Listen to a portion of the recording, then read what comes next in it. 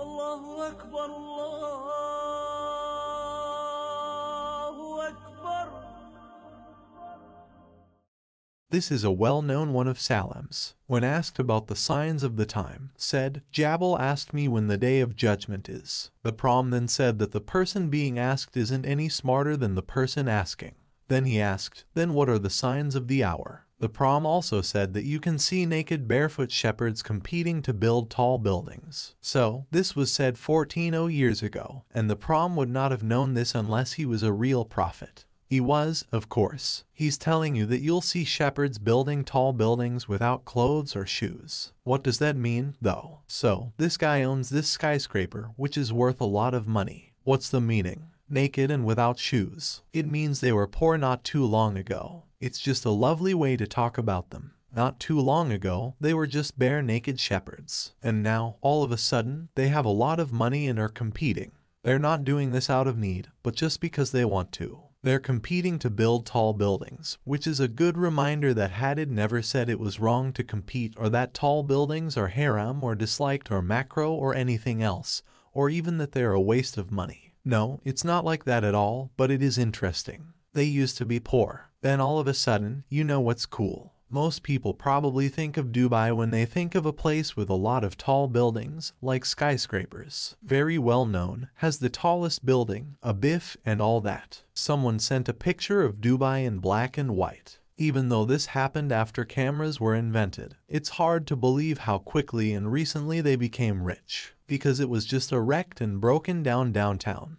You should know that there are small roads, small houses, and donkeys everywhere then you wouldn't believe that it looks the way it does after such a short time. And that's exactly what the proem meant when he said that they are naked and have no shoes on. That is, they were naked and barefoot not long ago, but now they are building the tallest buildings and the tallest buildings in the world and competing with each other. Okay, said the time will not be set until there is a lot of money, so much so that a person will have to gather his money while waiting for someone to accept his charity. And when he calls a man, the man will tell him, I don't need this money. In another version of the story, it is said that the hour will not be set until your wealth grows. So, some scholars said that the number of he was the prophet to whom I'm talking right now. He's talking to the companions, so some of you said, no, he's talking to them, and others agreed. Anyway, they said that this same minor sign can show up in four different places. First, they said that during the time of Anhu there was a lot of wealth, so they could be the first sign. Two, they said, and I've said this before, that during the time of the Maha, there was so much money that they couldn't find any poor people in Africa to give the all money to. So, when the Mahdi comes in the future, as Hadith also says, he will pick up golden and silver coins and give them to people without counting so there will be more money at the time. The fourth came next. When AA comes back, people will have more money. There won't even be a need for money, because hair and goodness will be everywhere. So, these are four different times or, uh, or possible and likely times for this Hadith to show up. Having said that, it's important to point out that, you know, it's one of them always has something interesting to say. He would say that Muslims are wrong about two things. They always get, uh, fun and money wrong. For example, when it comes to money, everyone wants it. Everyone wants to be wealthy. Everyone wants the next big business that will bring in a lot of money. But when we're out in public together, we act like it's something gross. I know, millionaire, my love, may God bless his money. And he backed out of this big business deal, for which he was about to sign a contract, at the last minute. So when he was asked why, he said, I went to the mosque to pray.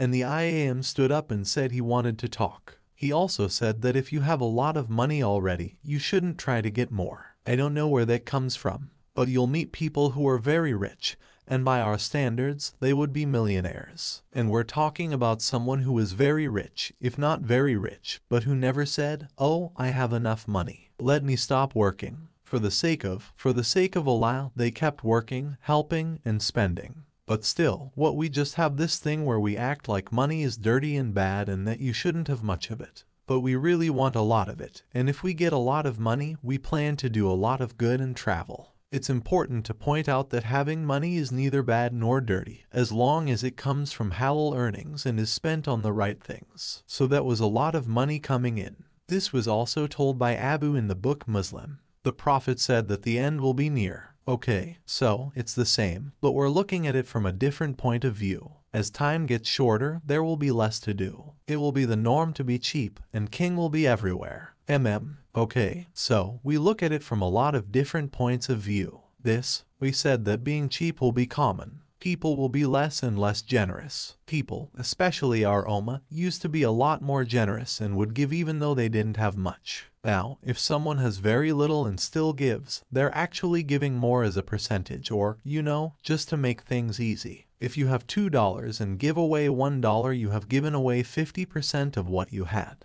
But if someone has a billion dollars and gives away half a million, that's not much of what they have. Anyway, the companions were very, very generous, and no one else was as generous as they were. But that was how things were for them. Then people start to be less and less generous. The Hadith says that what's interesting will become common. And that could be because of a lot of things, like the fact that people are getting more and more bankrupt morally. Or it could be because we have tools that make it easier now than, say, a thousand years ago. Even if you look at the death rates, that is a small number compared to the number of people who will die in a big battle like the one between Badr and, as one person said, one device. Now, though, the death rate would be a lot, lot higher. If you looked at the numbers of people who died in World War I or saw pictures of them, it would be hard to believe. It could also be that people's morals are getting worse and it's not such a big deal to them anymore. This story is told by he said that the Prophet Salam said that some people will eat or make money with their words, just like a cow makes money from the ground. So they said, the experts told us. It doesn't mean that you can't be a motivational speaker or a public speaker to make money if that's how you want to make money. But they say that it is talking about lying.